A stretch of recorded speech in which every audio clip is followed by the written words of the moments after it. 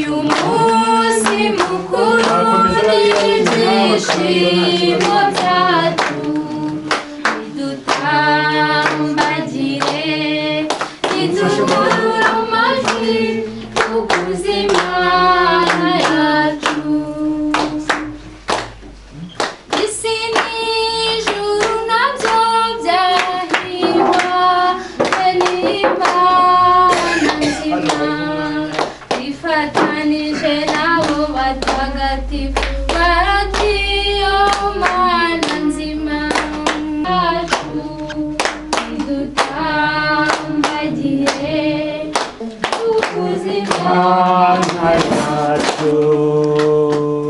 Kristo yezu akuzwe Eh, abavandimwe rero barakoze. Eh, kandi abo twari dutegereje barahageze. Turagira ngo rero muri runo rugo turimo tugiye kwishimaniramo. Eh, dufite n'uruyobora uhagarariye ari we nyakubahwa padiri mukuru wacu kugira ngo tumuhe izina ry'imana data na mwana na roho mutagatifu. Nawe uri mu ijoro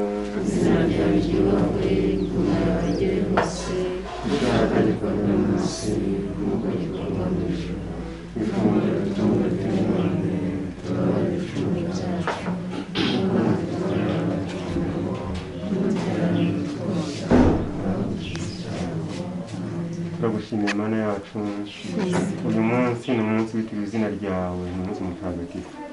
Twishimiye by'umwihariko ingabire uduha kandi ukaziduha utageruye ukaduha ingabire y'abatisimu. Uyu dukikije arahimbaza bibiri imyaka mirongo itanu. Warakoze kumuvugisha bundi bushya warakoze kumurinda kumuherekeza kumurindira ukwemera kwe kugeza kuri munsi.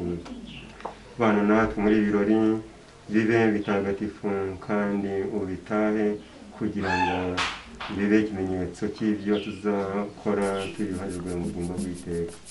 Uha umugisha buri wese uri aha ngaha kandi umugisha tugiye gusangira byose bigende neza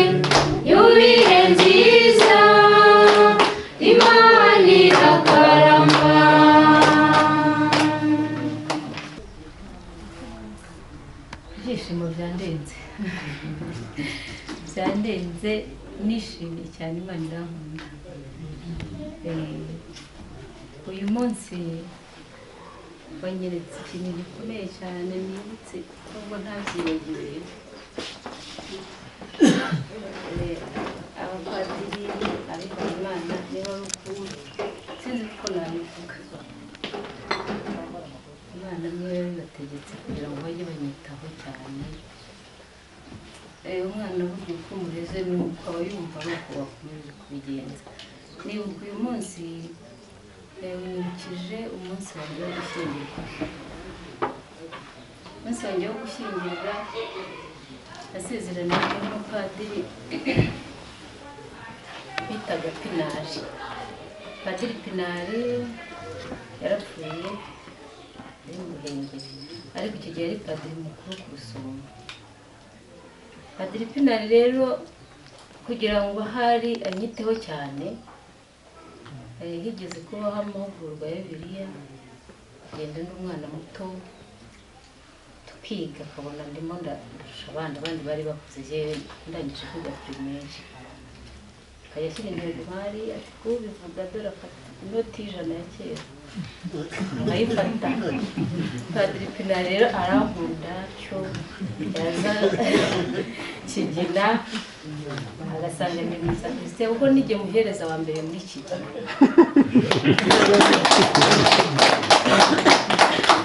Muhereza w'umukobwa ndi jyenyine mu bahungu batatu. Babiri baherezaga mu misa ya mu gitondo abandi mu misa ya kabiri.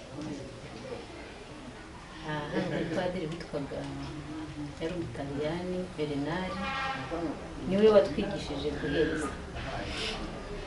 Ku minsi mikuru kugira ngo tunezerwe abahungu akabaha umusaraba njyewe bakandikira bikira mariya nkumva ni byiza cyane kubera ko nitwa mariya nkishima nkumva padiri ndamukunze bityo rero nyuma haje kuba undi mupadiri witwaga heremani we yari umuyobozi wa roho yanjye. Bityo rero narerewe mu bapadiri. Hari ababikira rusumo harimo umubikira witwaga Di- dina yari diregitisi wa serayi we yanyigishije gu- gucuruza. Kankura hano i kigali nkiri muto akajya kunyera ku isoko aho njyana utuntu n'utuntu tukagarukana. Urumva bose rero barandeze. Niyo mpamvu n'ubu ubuzima bwanjye bwose mbere y'uko bujya niyo mba- mbanza kugisha inama rero ndabashimira cyane abo bapadiri n'ubu kuko nshyingirwa yarampagurukije umugabo ntabwo twari twicaranye ahubwo twagiye kuri aritari padiri ajya hagati yacu ngewe mfata hositiya umugabo afata inkongoro cy'ukarisitiya imana mfashe hositiya ze ibi ni ibiki none n'uyu munsi rero padiri yabinyibukije ukuri nishimye cyane uko mwanyibukije rero ko nyine igihe cyose niyo ntatiriye nkaca mu bidakwiye mumba hafi mukamfata akaboko ubu rero ubu ni ho ugomba akeneye cyane kurenza icyo gihe. Eh, imibereho yanjye rero yo kwiha imana no gukunda imana no sinzi. Nabikunze cyane. Aho mm, ibibazo byose mbihurizaho nkatekereza nkatekerereza umugabo nkatekereza nkarira abana nageze aho mbona imana kuko ari imana. Nkabonera bikemuye. Nanjye ahandi nzajya ubwo rero ibyo byose nabashimiye. Sinzi uburyo nabivuga mwakoze cyane. Umurimo w'imana ntabwo nawureka nzawukomeza ndashimira rero n'abandi bantu uretse Habimana n'abapadiri wenda umuryango waho nashatse umugabo amaze gupfa ntabwo bantereranye bambaye hafi ni byiza kugira ngo murabona ko bahageze kare. Nabo rero mu kugira ngo uyu munsi mbe nikomeye nkomeye ku mana barimo. Nasabaga mu bambera amashyi.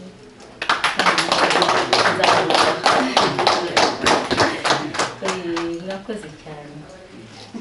Eh, marene we sinabona uko muvuga. Yagombaga gukora inshingano ze. Hari abatazikora ariko we yaragerageje yarazikoze. Kuko mbatizwa nabatirijwe muri paruwasi ya nyarubuye agenda n'amaguru kugeza ubwo mvuye ndabatizwa. Urumva yararushye. Yananiwe yarakoze cyane wari warakoze. Warakoze. Warakoze cyane. Ibyo rero birankomeza bigatuma binyongerera ukwemera hari abandi bantu nabo bamaze kubikomeza mu kiliziya ngo barakoze. Bakomeye ababwiye ngo bari hano. Kandi kuko bangiriye neza cyane. Mpita mbona ubukirisitu bw'umuntu nanjye nubugiramo nkabona yenda nk'umukecuru mubona hano iruhande ashinzwe umutekano kuva kera kuva muzi na n'uyu munsi. Uyu mukecuru na bagenzi be bandi bari hano.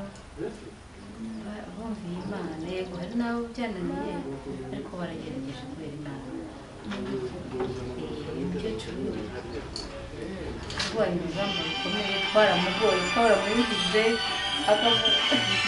ariko yageze ku gikorwa kuba rero ngejeje imyaka mirongo itanu nawe arimo kuko hari ahantu wajyaga kwihisha bakakwiruka cyangwa se ukawajya ariko we yakoze ibyo yagombaga gukora ay- ayobowe na roho mutagatifu n'imana nawe ndagira ngo mushimire warakoze umukecuru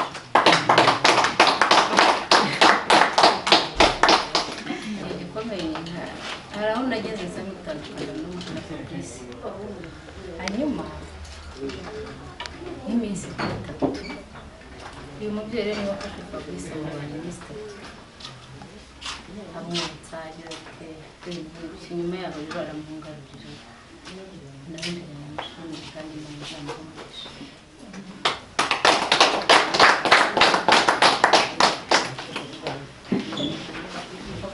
kuko uriya yarahetse umwana aka- akamumwitaho uyu ni we wamuzaniye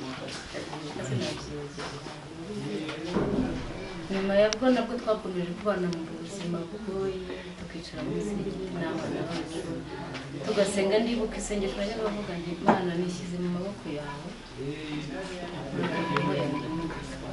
niryo sengesho ryanjye ryabaga bijyaga mu Imana imugisha namwe. Murakoze.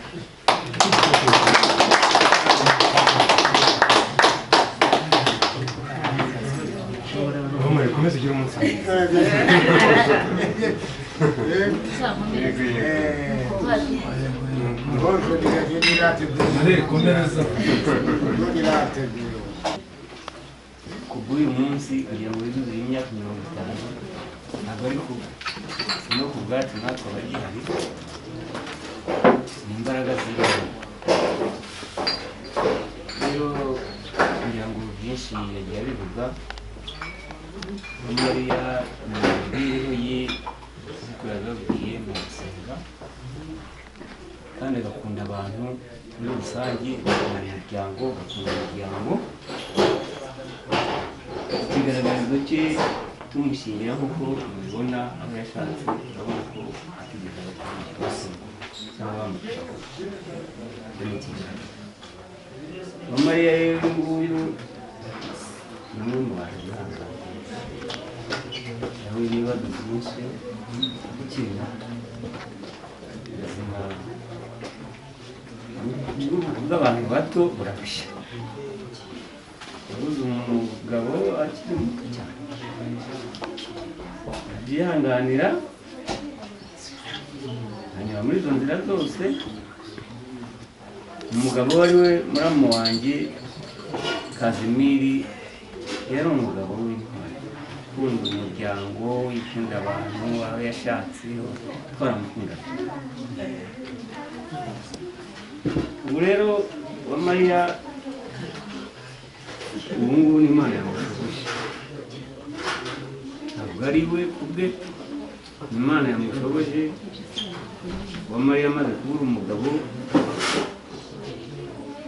Nanjye nk'umuntu wari usigaye uri mu muryango hari icyo nari mfite numva bita impano nari kumuha cyo kumufata mu mugongo.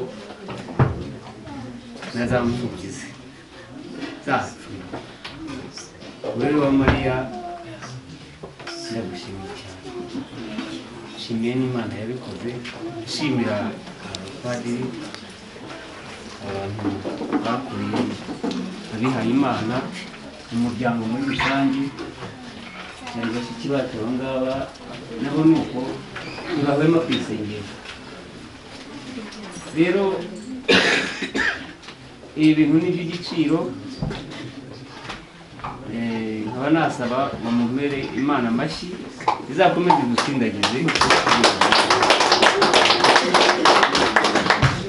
Murakoze. Wa mariya bazirisa ngira ngo ndabona abantu bandiye indwara bandiye iki ariko icyabirangiza. Aho hari impano. Hari abateguye impano. Kubera ibyishimo mfite. Mm, abanyamuryango barabizi. Mwemereye kuzamuha isambu ingana n'umudugudu.